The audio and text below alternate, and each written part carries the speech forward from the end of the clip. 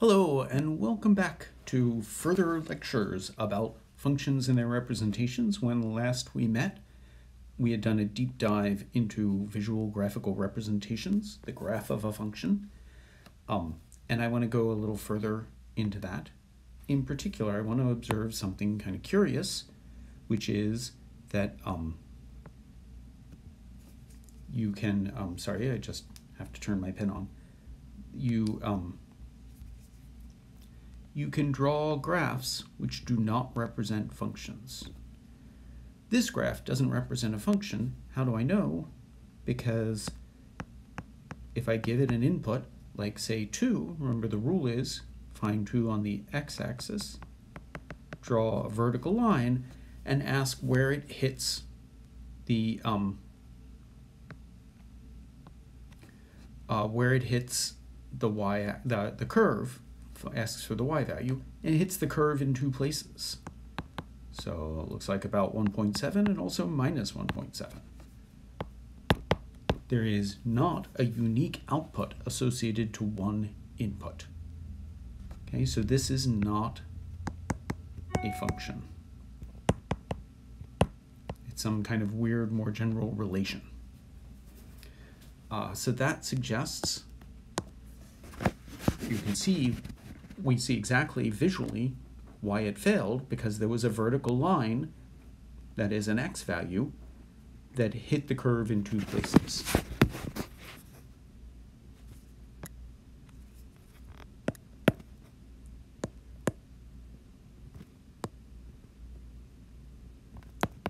So this gives us what's called the vertical line test.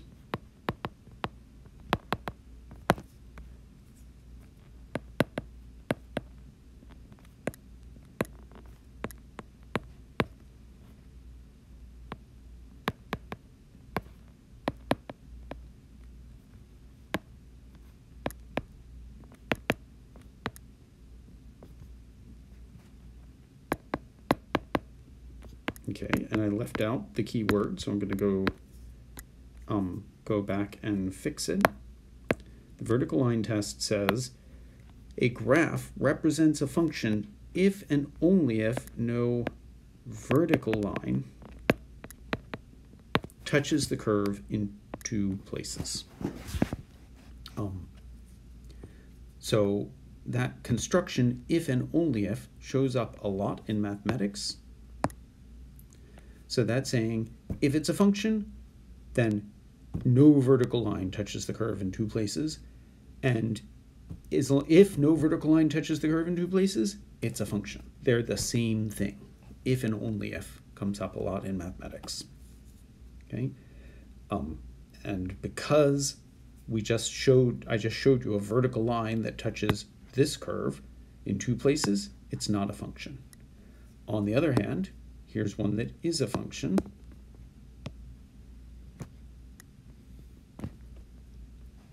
Here, you draw any vertical line, it touches the curve in one place. Well, you might argue, oh, what about over here? Maybe that vertical line touches the curve later when the curve climbs up, or maybe it never touches. Either one is fine. It's okay for the vertical line never to touch it or to touch it once. It's just not allowed to touch it twice.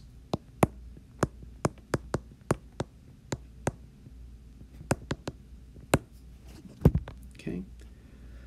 So whether or not something is a function is really clearly articulated by this very visual check. Does a vertical line touch it twice? Okay, so let's return to algebraic representations. It was one kind of you've you're used to them. We've done a lot with them, but I want you to something we will do a bunch. I want to remind you of, and it'll be an opportunity to remind you of some some simple algebraic things. Remember, f of 1 is expressed by plugging 1 in for x wherever you see x. There's a really helpful way to do this in complicated formulas which is just to replace every x by a pair of parentheses and then put the number inside the parentheses. Why do I do that? I'll show you in a minute. Um, so 1 squared plus 1 plus 3 is 1 plus 1 plus 3, which is 5. 2 squared plus 2 plus 3 is 4 plus 2 plus 3, which is 9. Okay? You don't have to plug a number in, you can plug another symbol in. So if you plug a in for x, everywhere you see x, you replace it with an a. a squared plus a plus 3. A picture that I find really helpful, people often get really thrown by doing this. It is simpler than your mind may make it. So picture I have is if you imagine writing an essay in Word, getting to the end of it and realize that everywhere you spelled lose, which is spelled L O S E, you spelled it L O O S E, right? You made an error. In Word, you can say find and replace. You say find every instance of loose and replace it with lose. And Word will happily go through the whole document and wherever it sees L O O S E, it'll replace it with L O S E. Um, and you have to be careful, right? Because sometimes you wrote footloose you didn't want it to fix that one, but it will anyway. You want to be like Word. Whatever, wherever you see an X, you just replace it with whatever is in parentheses. And here, here's the example where the parentheses really help. So you can begin to see why, why it's tricky and why the parentheses help. When I replace x with 2a, kind of a complicated expression, the parentheses reminds me that all of 2a needs to get squared. Okay, so um, that's equal to 4a squared, right? Because 2a squared is 2 squared times a squared. So it's 4a squared plus 2a plus 3. That's sort of the first really interesting one. And you can see the parentheses remind you that you apply whatever the formula is to everything inside. Here's another more interesting example. The expression a plus 1, everywhere you see x, then you have to do a little work, right? Remember, FOIL, a plus 1 squared is a squared plus 2 times a times 1 plus 1 squared. We're also adding a plus 1, and then we're adding 3 and I helpfully wrote these in columns so that you can see we get a squared plus a total of 3a. Oops, undo that. And here's 2a plus a is 3a. 1 plus 1 plus 3 is 5. Okay. So you can by plugging things into the function, you can get very different results out. And I just want to observe when I write 2 times f of a, that's equal to 2 times whatever f of a is. So in this case, it's equal to 2 times, in parentheses, a squared plus a plus 3, which is 2a squared plus 2a plus 6. Notice that's really different from f of 2a multiplying by 2 inside the parentheses and outside the parentheses do very different things. Um, that's really going to matter to us in a little bit.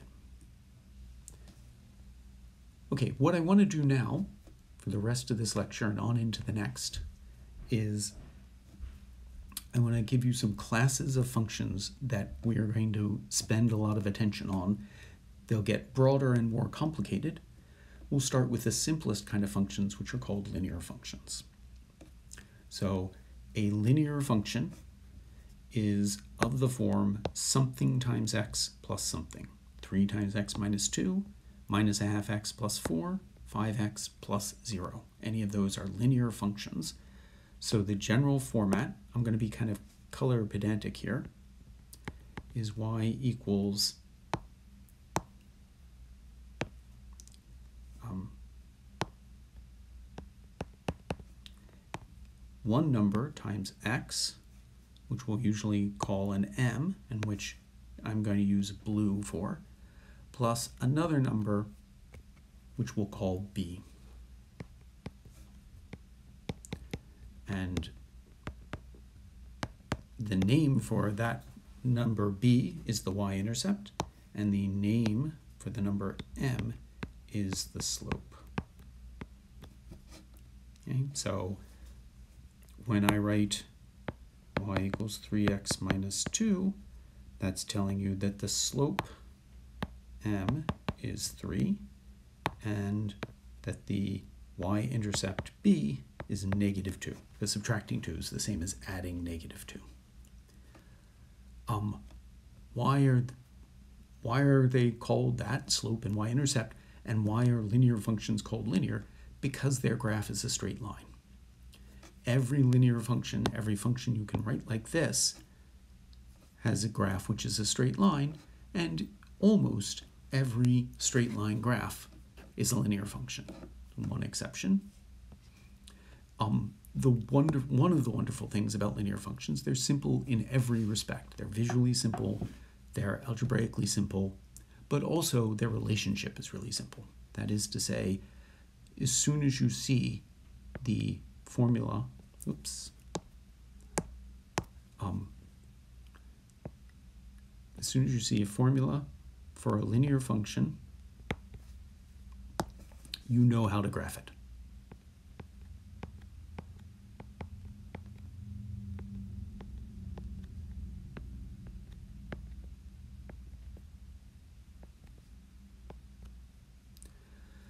So, two facts. One is B, the y intercept, tells you where the line crosses the y axis. So in our case, so I want to focus now on 3x minus 2. Here I'm going to circle it in red and graph it in red. The y-intercept, which is minus 2, tells you that it crosses the y-axis at negative 2.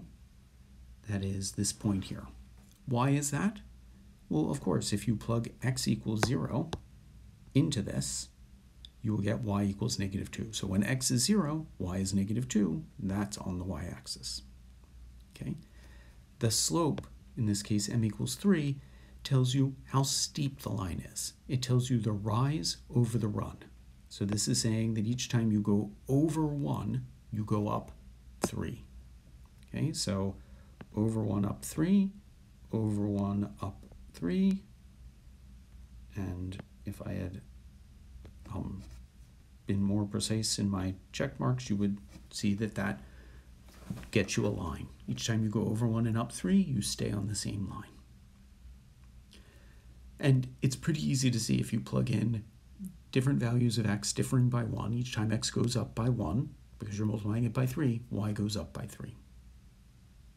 Okay? So that makes graphing really easy. Let's graph minus 1 half x plus 4. The y-intercept is 4. So I go 1, 2, 3, 4. The slope is minus 1 half. So each time we go over 1, we go up minus a half, which is down a half.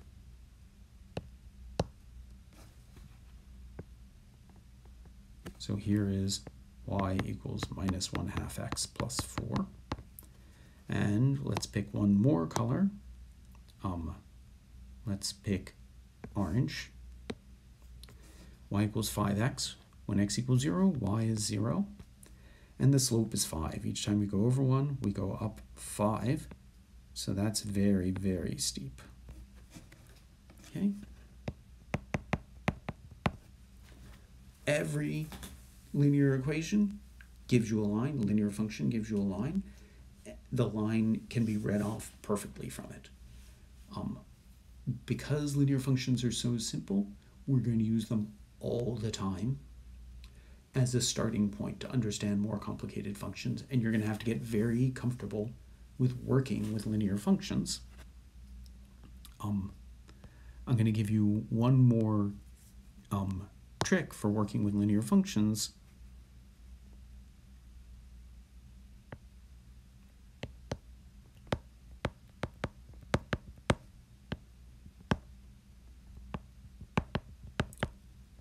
that two points determine a line.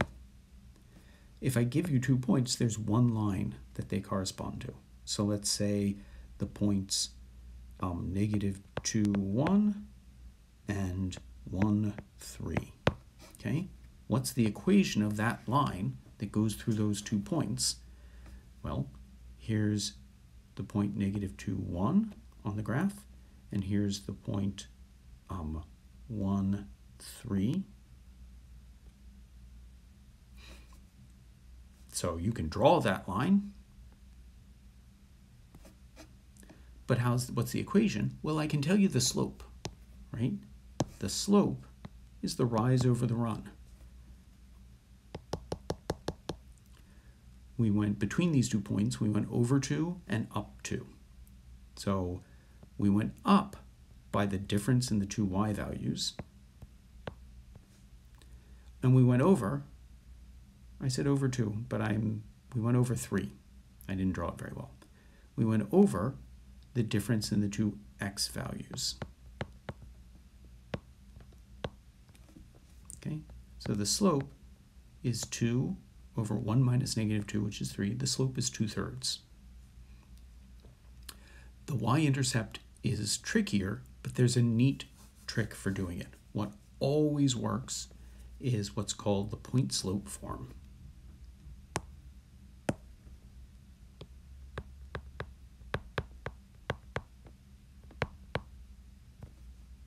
Instead of writing it as a function, y equals mx plus b, take one of the points.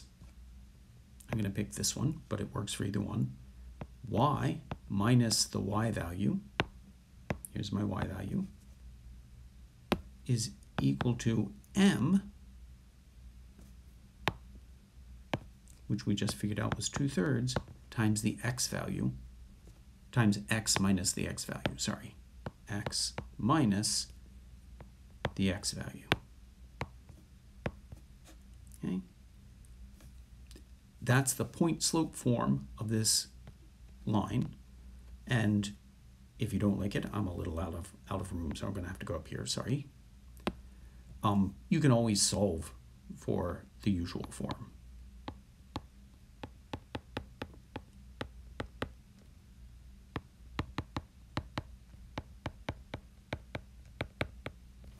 So you can move the constant 3 over, you can distribute the 2 thirds,